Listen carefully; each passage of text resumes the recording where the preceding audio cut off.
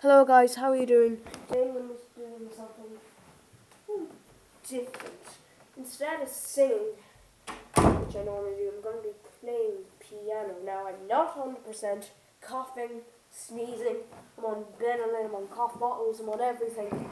Name a cough bottle medicine, I'm on that. So today I'll be playing a piece called Choo Choo Train Boogie and it's by Adrian York.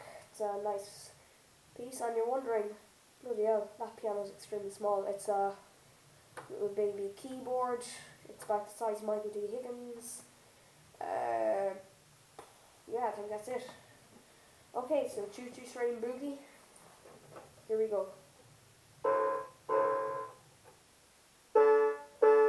Very sad. Sad piece.